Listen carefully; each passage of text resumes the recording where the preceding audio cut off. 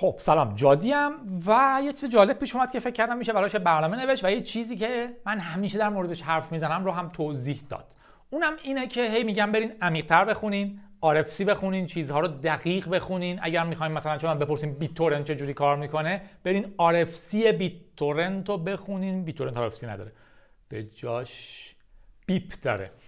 بیپ بیپ تورنت رو BitTorrent رو بخونین و حتی یه هفته وقت بذارین. واقعا یه برنامه BitTorrent client کوچولو بنویسین که یه فایل torrent می‌گیره دانلودش می‌کنه و این باعث میشه که هم برنامه نویسیتون خیلی قوی تر بشه رزومه های خوبی داشته باشین و تکنولوژی که استفاده می‌کنین رو تا ته ته ته عمیق بفهمین. تا ته تهش رو پس می‌گیرم ولی خیلی خوب بفهمین. بیشتر از بهتر از 99 درصد آدم های دور بفهمین. خلاصه این کار باحالیه. چند وقت پیش مجبور بودم از base 64 استفاده کنم رفتم دقیق خوندمش که چرا تهش دو تا مساوی داره یا یا گاهی یه مساوی داره. و بعدش هم تو توییتر دیدم یه trend بامزه درست شده در مورد base 64 که البته من اصلا ندیدمش نمی‌دونم چرا تو timeline من نمیومد ولی ظاهرا یه سری آدما حرفشون رو با base 64 کد می‌کردن میفرستادن. که یه جور قایم کردن میشه. base 64 رمز نمی‌کنه. بذارین اول ببینیم base 64 چیه. base 64 رو اگه search کنین احتمالا می‌رسیم به decode online و این. base 64 یه ایده است. چون ما تو کامپیوتر که می‌دونیم بذار اول همین که باز شد یه دونه درست کنم این الان decode می‌کنم من می‌خوام encode کنم. من می‌خوام یه چیزی رو رمز کنم به base 64 رمز منظور مخفی کردن نیست کد کردنه این دیگه چیه؟ مثلا یه عبارتی بهش میدیم مثل جادی. هر چیزی رو می‌تونه ورودی بگیره. فایل text محتوای text فایل عکس و هر چیز دیگه ای به این خاطر انقدر زیاد میبینیمش تو وب. چون مثلا می‌خوان تو URL یه اطلاعاتی رو منتقل کنن. توی URL تو نمی‌تونی data binary بذاری نمی‌تونی عکس بفرستی تو URL ولی اگه base 64 اش کنی می‌تونی. مثلا من جادی رو الان encode کردم یه چنین چیزی شد. دیدین که درازترش هم کرد یه خورده عجیب ترش کرد ولی جادی شد این. حالا بعدا سعی می‌کنیم بنویسیمش. اگه اینجا بخونین در واقع نکته اصلیش اینه که تو computer science base 64 ها گروهی از binary به text encoding ان ورودی binary می‌گیرن خروجی text میدن.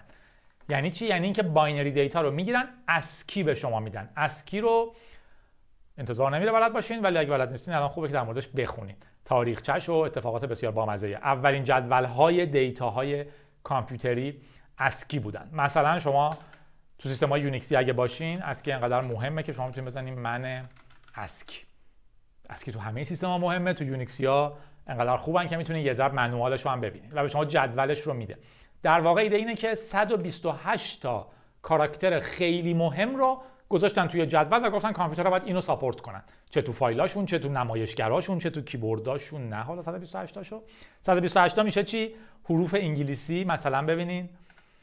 من اینجا حروف انگلیسی رو دارم کامل. جلوتر حروف فا... انگلیسی کوچیک رو دارم. یه سری علامت خاص دارم. اگر بیام پایین می‌بینین یه سری علامت های خاص اینجا دارم که تو متن استفاده میشه. اگر همون رو بندازم رو عددا می‌بینین که عددها رو دارم. اینجور علامت ها رو دارم. خلاص 128 از چیزهای مهم رو انتخاب کردن. اولش هم یه سری چیزهای خیلی خاصتره اینا.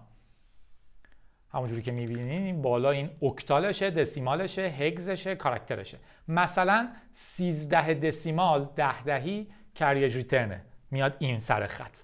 ده میاد پایین. در وقتی شما در واقع انتر رو می‌زنین یه اسلش آر میفرسته یه اسلش ان میاد سر خط میاد پایین. حالا بعضی موقع فقط انتر هم بزنین این کارو می‌کنه. و چیزای دیگه. یعنی اولش یه سری چیزای مهم هم هست. مثلا دش بی بک اسپیسه پاک کردن به عقب. خودش می‌تونه یه کاراکتر باشه. دش تی تبه چون اینا رو نمیشه نشون داد اسم گذاشتن روشون. و کارهای متنوع. حتی زنگ داریم مثلا که صدایی بده. دش ای زنگ. پنگ. یه صدایی میده. و اینجور چیزا. 128 تا کاراکتر مهم دنیا رو گذاشتن تو این جدول و گفتن سیستم باید از اینا پشتیبانی کنن. و می‌دونین که کامپیوترهای ما الان در واقع 8 بیتی هن. یعنی کامپیوترهای من 8 تا بیت دارن وقتی data ی binary دارن. معمولا. به اون چیزی که مثلا میگیم بایت در واقع 8 تا بیته. مثلا اگه میگین A A برابر ASCII ش A بزرگ بذار بذارم که راحت تر باشه 65 65 به یارو یعنی چی؟ یعنی صفر یک صفر صفر صفر صفر صفر یک. اگه اشتباه نکرده باشم. این هشت بیت در واقع یه بایته که نشون دهنده حرف A. جاهاش هم معلومه دیگه. این یک این دو این چهار. عرف دهان دو میرسونم. این 8 16 30 16 32 64 128 جاهاش. در وقتی میگم 65 یعنی که 64ش روشنه یکش هم روشنه. اگه می‌گفتم 97 که ای کوچیکه باید 64 رو روشن می‌کردم. بعد می‌دیدم باید چیا رو روشن کنم که درست بشه. اینو شما ذهنی می‌تونستم راحت تر بود برام. اونم سخت نیستش. یعنی میشه 96 اتفاقا خیلی آسونه. این یکم روشن کنین میشه 97 در میشه ای کوچیک. این ایده اینه. اگه شما یه فایل عکس دارین فایل اجرایی دارین هر چیزی هم دارین 8 بیت 8 بیت اینجوری نشونش داده. اما مشکلش چیه؟ اگه اینو بخواین یه جایی تایپ کنین تو صفحه ببینین تو URL بفرستین خب قاطی میشه. چون شما نمی‌تونین کاراکترهای خیلی زیادی رو توی URL نشون بدین. حروف الف با رو می‌تونین نشون بدین و اینجور چیزا. و حالا دلایل دیگه که حالا می‌بینیم بعضیاشو اومدن یه کار بامزه کردن. گفتن که ما بیایم base 64 رو اختراع کنیم. base 64 یعنی چی؟ یعنی دو به توان 6 حالا یا باید اینجوری می نوشتم یا بنویسم دو به توان 6 آره دو به توان 6 میشه 64 من بیام base عادی من 10 دیگه. در از 0 تا 9 می‌تونم کاراکتر استفاده کنم. binary base ش 2 در نتیجه 0 و 1 رو می‌تونه استفاده کنه. hex 16 در نتیجه 0 تا 9 A تا F رو می‌تونه استفاده کنه. برای نشون دادن هر کدوم. تبدیل base ها رو لازم داریم بعد برین جدا بخونید این میگه من یه سیستمی درست کنم که بیس 64 باشه. خیلی باحاله دیگه. یعنی هر چیزی رو با 64 حالت مختلف بتونه نشون بده. پس من بیام. دو به توان 6 هم هست دیگه. ما اینجا دو به توان 8 بودیم. من بیام این 6 تای اول رو جدا کنم و بگم این تو بیس 64 من یه چیزی میشه دیگه. این یه عددیه. حالا بعدیش میشه کلمه بعد مثلا اگه من دارم A, B, C. خب این شکلی میشه. 0, 1, 0, 0, 0, 0, 0, 1 درسته؟ این میشه کاراکتر A. کاراکتر B چی میشه؟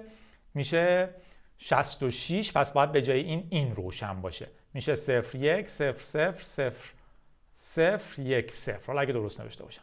کاراکتر C چی میشه؟ اینش هم روشن میشه. یعنی میشه 0, 1, 0, 0, 0, 1, 1 این میشه کاراکتر C. اگر درست نوشته باشم هر دفعه باید بگم. حالا من میگم این بیس اگه بایت بایت بهش نگاه کنیم اینجوریه.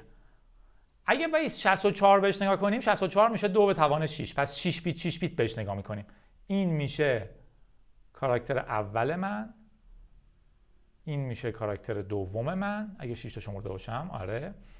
این میشه کاراکتر سوم من. اینم میشه کاراکتر چهارم من. من تو چهار کاراکتر می‌تونم نشونش بدم. این در واقع یعنی چند؟ اگر 6 بیتی نگاش کنم ارزش 6 بیت یعنی این. میشه یک دو چهار هشت 16 32 این یعنی عدد 16 این چند میشه؟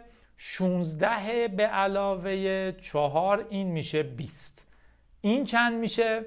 این میشه یک به علاوه 8 فکر کنم یعنی 9 اگر اشتباه نکنم. و این چند میشه؟ اینم میشه منطقا 3 دیگه. یعنی 16 20 9 3 اگر من تبدیلش می‌کردم 6 بیت 6 بیت نگاش می‌کردم. این شکلی می‌شد. حالا گفتم برای اینکه این کار ما تمیز بشه 16 29 3 رو توی آین اسکیه توی بیس 64 واسهشون مقدار می‌ذاریم. مثلا به جای 16 ما میگیم کیو. اینجاست. به جای 20 ما میگیم U به جای 9 ما میگیم J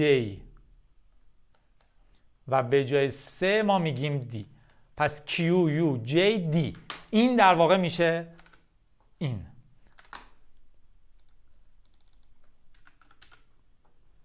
یا شانس و یا اقبال. دیدین الان شما دستی تونستین بیس 64 کنین یا چیزی رو. پس شما الان فهمیدین بیس 64 چه جوری کار می‌کنه. به جای 8 تا 8 تا 6 تا 6 تا می‌کنه و از این جدول برابرشون رو نگاه می‌کنه. حالا چرا گفتن بیس 64 چون که حروف انگلیسی 26 تا. 26 تا بزرگ 26 تا کوچیک. میشه چند تا؟ 25 تا بود می‌شد 50 تا. میشه چند تا؟ 52 تا. 10 تا هم عدد داریم میشه 62 تا. دو تا چیزم به تهش اضافه کرده اینجا. در نتیجه به علاوه و اسلش رو هم استفاده می‌کنه. گفتم می‌خوایم بکنیم میشه 64 تا. خوبیش اینه که بسیار بسیار از هم واضحن. شما می‌تونید هر binary رو که 8 تا 8 تاست وصل کنین به یه سیستمی که همش رو تبدیل کنه به یکی از این کاراکترها. الان دیدین کاملا چجوری کار می‌کنه. حالا یه پیچیدگی هم هست. مثلا ما اونجا خوش شانس بودیم. سه واقعا هم شانس آوردیم. سه تا مثال زدیم. و سه هشتا میشه 24 تا به 6 بخش پذیر تو 4 کاراکتر. ولی اگه ما 4 تا حرف داشتیم می‌شد چند بیت؟ می‌شد 8 5 تا 40 تا 4 8 تا 32 تا. تقسیم بر 6 اگه می‌کردیم 6 5 تا. می‌شد 5 تا ضرب در 6 به علاوه دو. دو بیت اضافه می آوردیم اونو باید چیکار می‌کردیم؟ می‌بینیم می‌بینیم دیگه. من 6 تا 6 تا می‌خواستم جدا کنم. 5 تا می‌شد. دو تا بیت اضافه می آوردم باید یه فکری برای اون می‌کردم. و اینجور قصه برای همین موضوع اینجاست که به شما میگم که شما می‌تونید الان مطمئنا خیلی سوادتون بیشتر شده در موردش. بعضیاتون البته. ولی من می‌تونم بگم base 64 RFC میگم RFC در واقع reference اصلی base 64 رو به من نشون بده. رفتم تمام ویکی‌پدیاش. تو ویکی‌پدیاش همیشه می‌بینین که یه جایی تعریف شده. مثلا میگه RFC 3548 اول تعریفش کرد بعد این کاملش کرد. obsolete RFC قبلی رو. اونو از بین می‌بره و رو بیس 64 32 16 تمرکز می‌کنه. پس من می‌تونم این RFC رو بخونم. RFC RFC ها ساختار اصلی اینترنت رو تشکیل میدن. به شکلی که ما می‌شناسیم حداقل بخش های مهمیش رو. در نتیجه خیلی خوبه که بتونین در واقع RFC بخونین دائما. Request for comment. درخواست کامنت گرفتن از شما. بعد کامنت می‌گرفتن بعد این تصویب می‌شد و می‌گفتن اوکی بیس 64 با RFC فلان کار می‌کنه. خیلی هم خوندن سخته ببین اسکرول بارمون انقدر اومد پایین. تازه این داستاناش. Introduction. Convention used. اگه گفتیم must یعنی این. اگه گفتیم should یعنی اون. پس من می‌تونم بیام پایین تر introduction. توضیح میده چه نیازی به این کار اصلا هست. Convention. Life. Line. Feeds رو توضیح میده چه جوری اتفاق میفته ما حالا خیلی هم سخت نمی‌کنیم. پدینگش مهمه. میگه در بعضی شرایط ما لازم داریم از یه padding character که مساویه استفاده کنیم. به خاطر اینکه data یی داریم که جاش هیچی نبوده. باید این کارو بکنیم. جلوتر دقیق میبینیمش. من میام پایین. میگه چجوری alphabet رو انتخاب کردیم. base 64 encoding من مبتنی بر این جدوله. اگر میگم A یعنی این اگه میگم B یعنی این اگه میگم C یعنی این در واقع چی رو با چی؟ یادتونه دیگه. من همه چی رو به دو توان 6 تقسیم می‌کردم. پس می‌شد یه عدد بین 0 تا 63 که به جاشون باید اینها رو بذاریم. و بقیه قصه ها و میگه تبدیل کنم کاری که ما گفتیم رو بکنین. ایچ 6 بیت گروپ یه ایندکسی به شما میده که به جاش اینو می‌ذارین. بعد سه حالت هم گفته. مثلا گفته که یک اگر آخرش the final quantum of encoding input is an integral multiple of 24 عین اونی که ما به دست آوردیم. The final unit تموم میشه و همون کاری میشه که ما کردیم. اگر فاینال کوانتوم این encoding input دقیقا شد 8 بیت here the final unit. یعنی در واقع 8 تا اون ته مونده بود دیگه. حواستون از چی دارم میگم؟ میگم اون داره چی میگه؟ یعنی 0 1 0 0 1 0 0 یک مثلا اگه تهش مونده بود will be two characters. ما خودمون این رو که تبدیل می‌کنیم این رو با پدینگ درست می‌کنیم که بشه شیشتایی که ما می‌خوایم و بعدش یه دونه مساوی اون ته می‌ذاریم که بدونن ما این کارو کردیم.